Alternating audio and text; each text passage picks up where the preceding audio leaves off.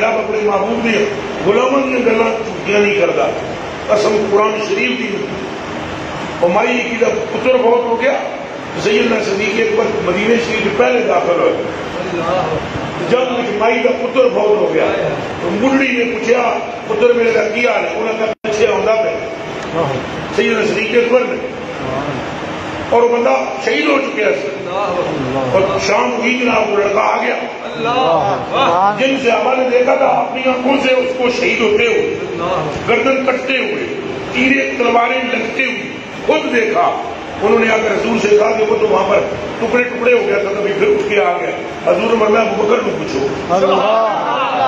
حضرت ابو بکر صدیق سے پوچھا گیا انہوں نے کہا حضور میں تو نہیں پتا اگر تینوں بوٹی نے پوچھا تو کیجیے اگر میں نے کہا وہ آ رہا ہے فرمایا میرے رب نے گوارا ہی نہیں کیا ابو بکر کی گل ابو بکر کون ہے؟ حضور کی نالین اٹھانے والے۔ ابو بکر کون ہے؟ حضور کی مہار پکڑنے والے۔ ابو بکر کون ہے؟ حضور کو مسواک پیش کرنے والے۔ ابو بکر کون ہے؟ حضور کے لیے امامہ کھول کر گھر کی صفائی کرنے والے۔